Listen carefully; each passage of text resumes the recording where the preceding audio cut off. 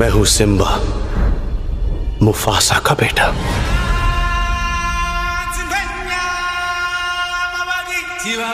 बाबा ने मुझे सूरज की रोशनी छूती हर चीज़ का रक्षक बनाया था। अब अगर मैं नहीं लड़ूँगा